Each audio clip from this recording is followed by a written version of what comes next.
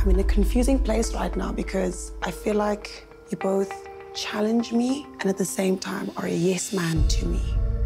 Like the situation today on our group date, I did respect answers like that from Ruan. He literally still embodied to me the first impression rose. He was himself in his answers. And whether he won the challenge or not, he was upfront and honest and wasn't trying to yes man me versus giving me insight into who you are and where you want to be and trying to really see our compatibility. This version of him that's a yes man and just wants to compromise everything for me and not be honest with his feelings. And I'm worried because I don't want a relationship where I'm constantly begging someone to reveal themselves to me.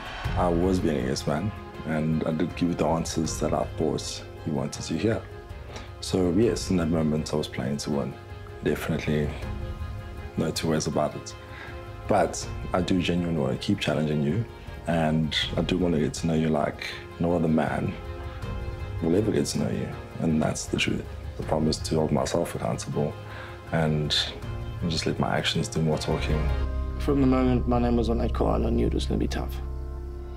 The reason why I struggled to go and get into that, that point between the primary school and now it's because those were the, some of the toughest years of my life. My matric year before that, going through all those struggles with my dad.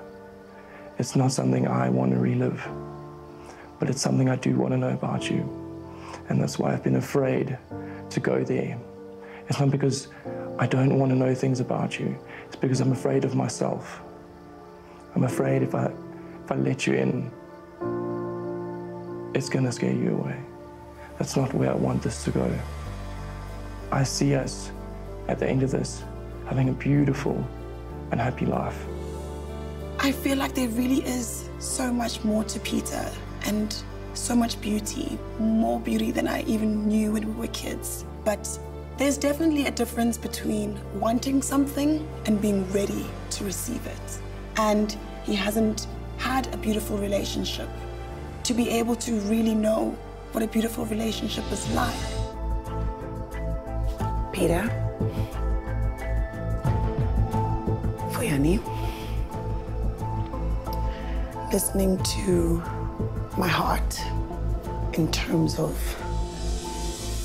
who between the two of you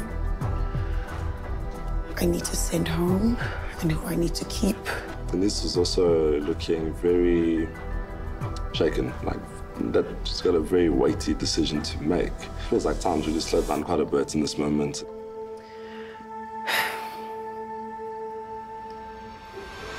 Peter, I really respect that you've started this journey towards finding your authentic person. And you've opened yourself up to not repeating your mistakes of the past. However,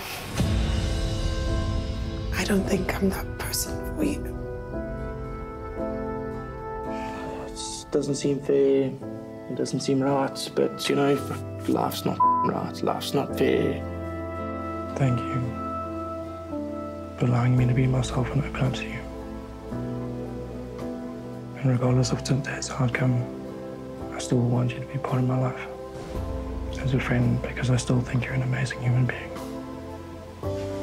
I hope you find what you're looking for. I hope you do too. Sucks a little that I had to be thrown under the bus to be sent home. It's her choice.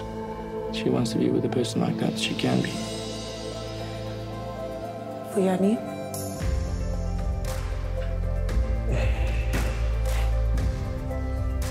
will you accept this rose, Vuyani? A million times, yes.